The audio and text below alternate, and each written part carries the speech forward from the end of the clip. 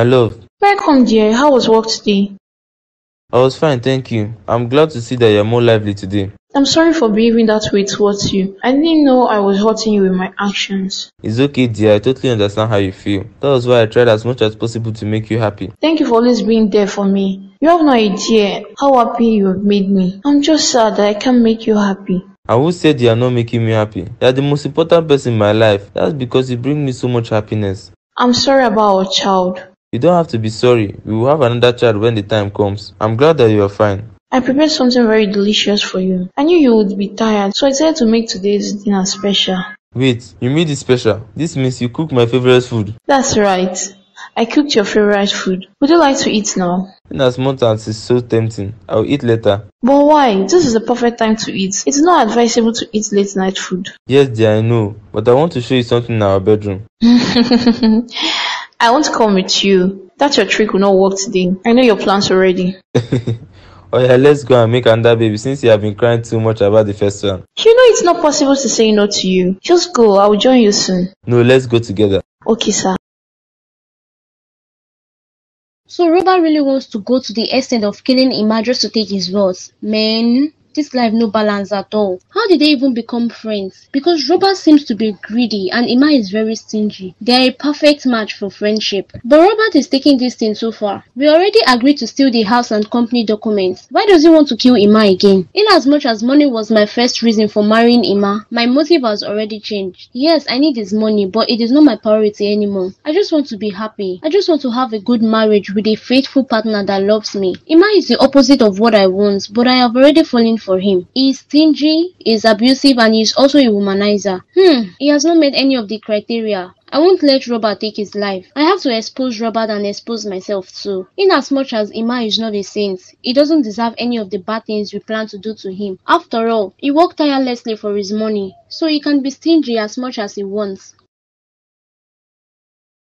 Good afternoon to you. Good afternoon, Precious. You seem to like my house a lot this time around. I'm not here to have any pleasantries with you. I came here to let you know that you've succeeded. I don't understand. I succeeded in what? I came to your house a few days ago before I realized I was pregnant. So obviously, I was pregnant the day I came here. So how is that my problem? Do you need a congratulations? Okay, congratulations to you. This is not funny. I want to know why you did it. What did you put in the drink you gave to me the day I came to your house? What nonsense are you saying? Well, I had a miscarriage and my baby is gone. Congratulations to you. Young lady, you obviously don't have anything to say. Make your point or you leave. Why did you do it? Do what? Why did you tamper with my pregnancy? There's no point to lie because I already know. Are you out of your mind? What kind of accusation is that? What business do I have with your pregnancy? Oh, please stop lying. What do you mean what business do you have with my pregnancy? You're still angry that Matthew married me, isn't it? Get out of my house. You have a problem with Matthew, so please do not take it out on me and my innocent child. He has already begged you, so forgive him and stop making our lives miserable. Oh, my love, you're finally back home. I am so happy to see you again. I want to go inside. Baby, I promise never to disappoint or hurt you again. That was the last time I will ever think of having anything to do with another woman. Please stand up. You don't need to kneel for me. I just want to show you that I have decided to let go of such life and focus on you and our marriage. It's okay, I have forgiven you. If I didn't forgive you, I wouldn't be here. Thank you so much, my love. I am so happy you came back. I really have to thank Robert because he made you come back. Robert did nothing. I came here out of my own will and thoughtfulness. I missed you. I missed you too, dear. Don't worry, from now henceforth, I will never do anything to hurt you again. I just hope so. And you will never hit me again. Because if you do, I will leave. I promise, I will never hit you again. It's okay. You're forgiven. Just go and change up. I want to take you out today. Really? Wow, I can't remember the last time you took me out. I will spoil you today. I will get you whatever you want. So go and get dressed. Okay, dear. Babe, please wake up. I want to have a word with you. Oh my god, not now. I feel very sleepy. We can talk about this later in the day, but not now. It is really important that we talk about it now. So please get up. I won't take much time. You will go back to sleep. Hmm.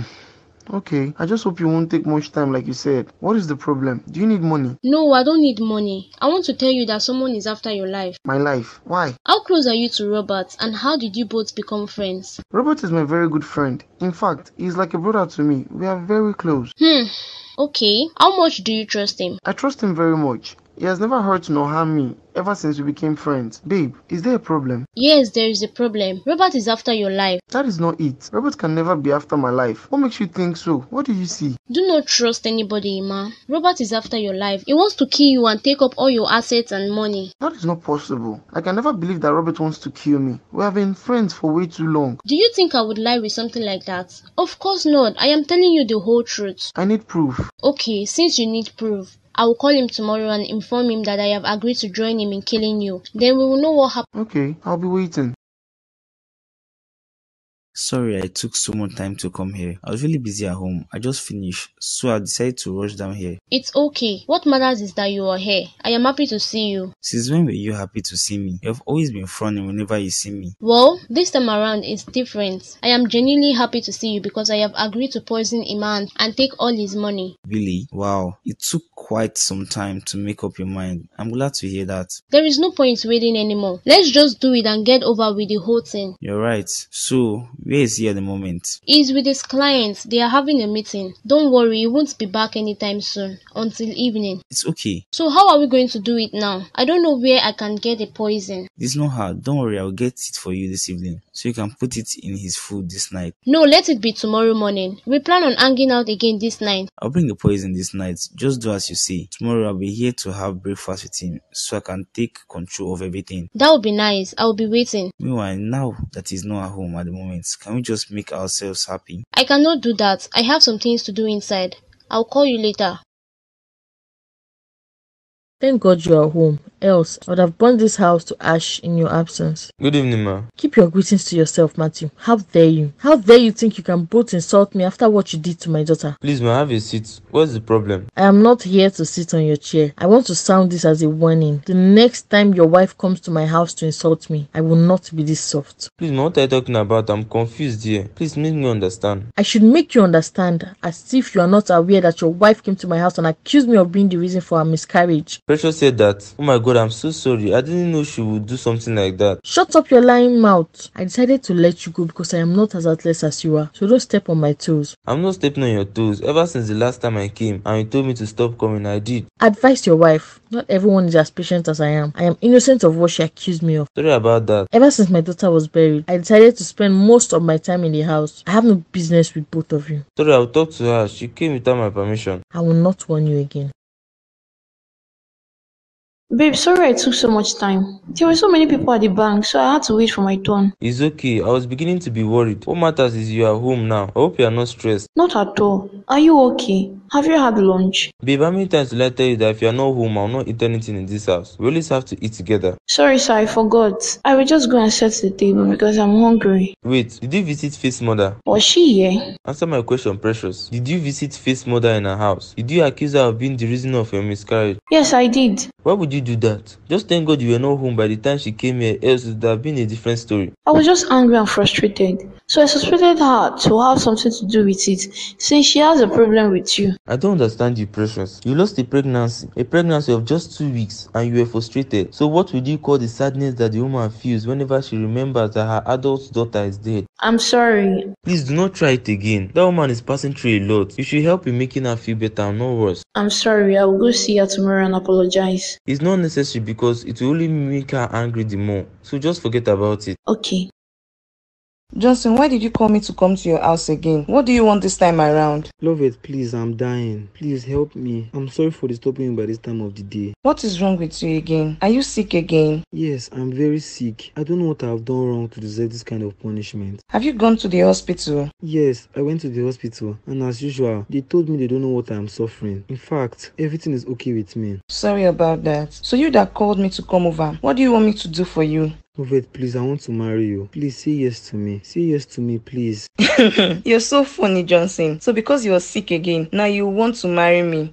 it is really funny. I know I've hurt you so many times by rejecting you, but please have mercy on me. I should have mercy on you. Of course I do. But the only problem is that I am no longer interested in marrying you. Ovet, please now. Do you want me to die before my time? Just take a look at me now. I am so sick. I can't even stand up. Look for the solution to your problem. As for me, I will never marry you again. Chai, I'm finished. How do I make this girl accept my proposal? This one you're in my house this early morning. I hope all is well, Sha. Yes, all is well. I'm tired of having breakfast alone in my house, so I decided to join you both. That is so thoughtful of you. My wife is preparing my favorite meal, so I guess today's breakfast will be very special. Yes, it will be very special. I came here yesterday, but your wife told me you were out with some clients. Yesterday was really busy for me. I thank God I was able to close all deals. That is wonderful. I thought you went out to have some fun with some other ladies. God forbid. I'll never try such thing to my wife again. Now that I have settled with her, I want to try as much as possible to have a happy marriage. I'm glad to hear that. It is a good thing to be faithful. So about we hang out today again. That sounds nice, but I won't come with you again. Why not? Have you forgotten what happened the last time? My marriage almost crashed because of you.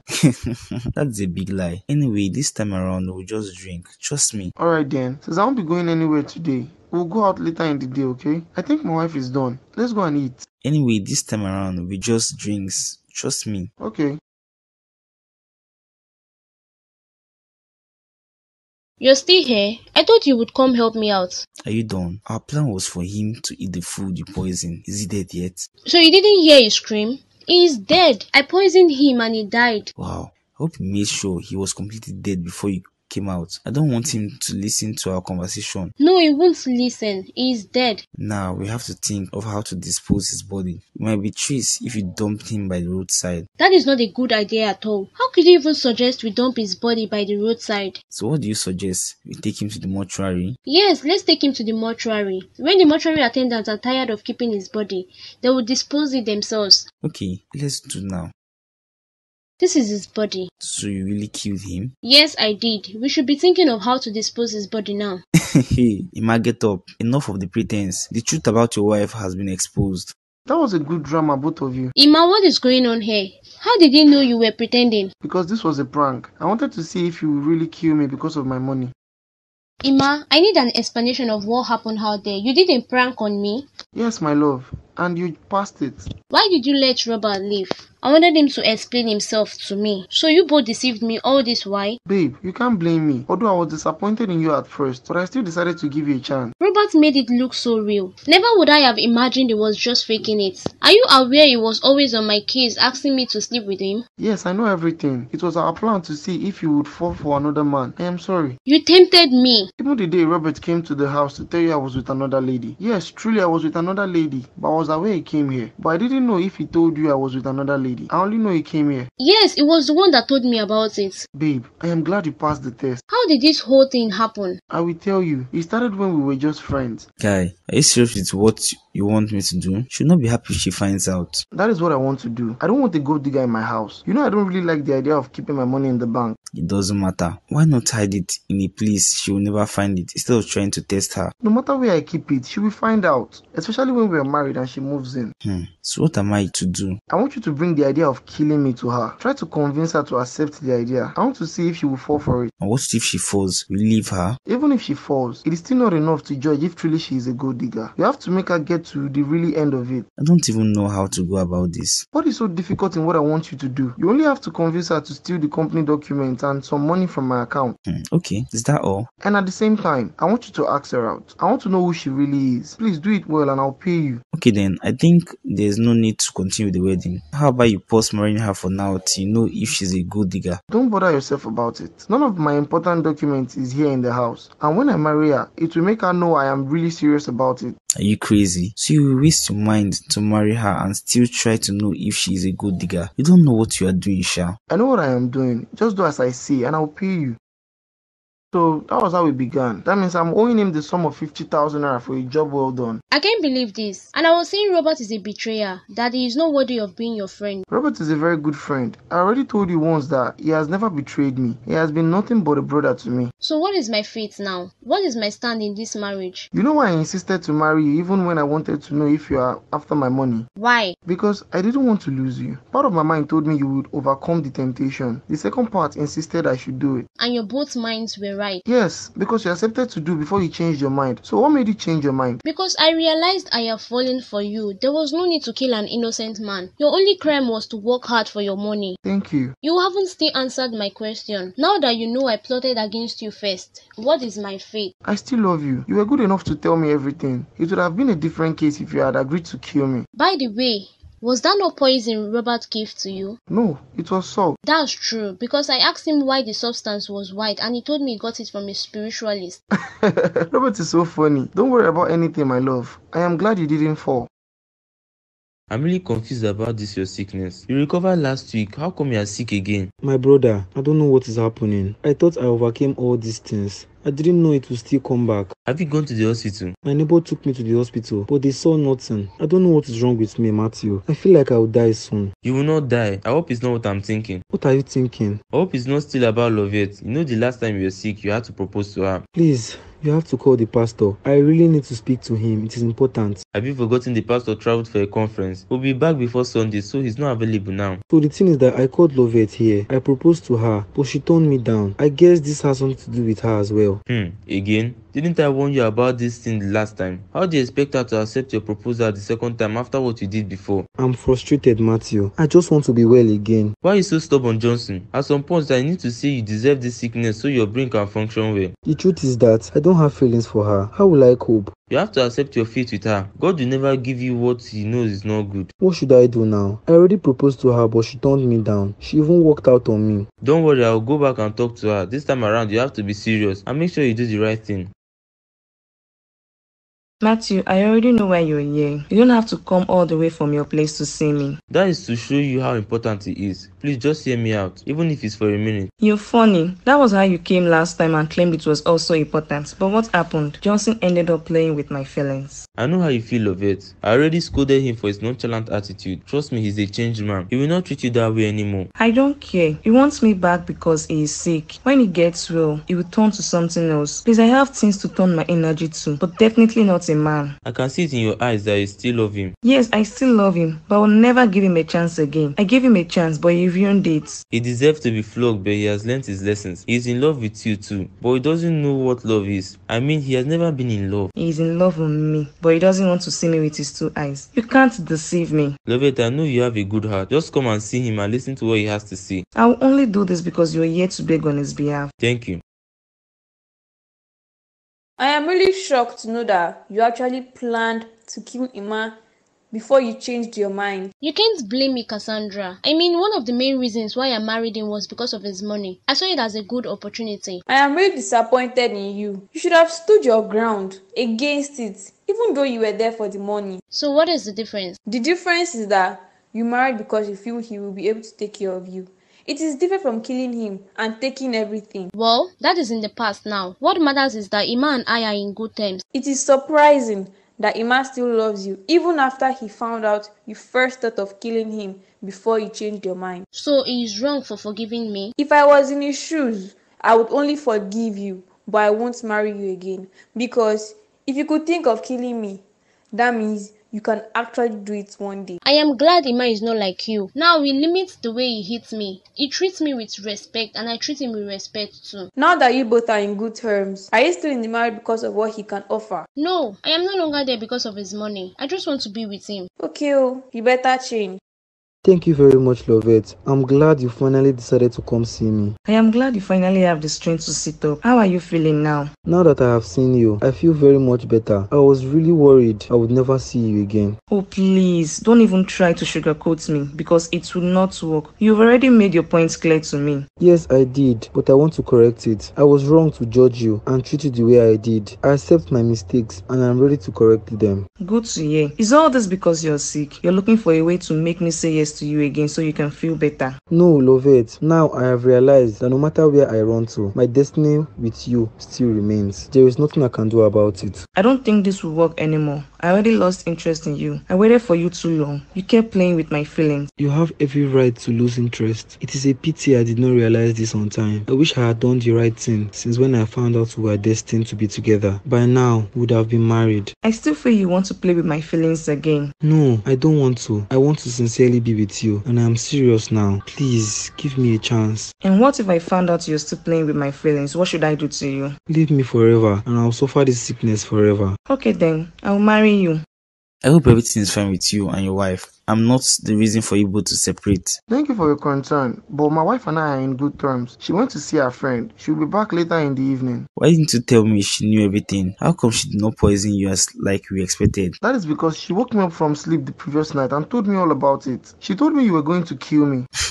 I imagine what would have happened if truly I wanted to kill you. I swear, I'll make sure you rot in jail. Although I kept telling her you are not capable of doing such thing, but she didn't believe. She must be angry with me. Guy, are you really sure you want to keep that lady? I mean, she cooperated with me for some time. Yes, I am sure about her. I mean, she changed her mind. That was because I told her to kill you. Probably she was scared of going to prison if someone finds out she killed you. So what are you saying? Do you know what would have happened if I kept on pressuring her to get your company's document? Don't you think she would, she would have done it? I don't think so. There is no difference from stealing my documents and killing me. Okay, since you want to keep her as wife, I don't have any problem with that. All I can say to you is be careful. Thanks, bro. How about I take you out for some glasses of drink? I don't want to drink. Let's go to the club. It's been long I had fun. I don't do that anymore. I want to stay faithful to my wife.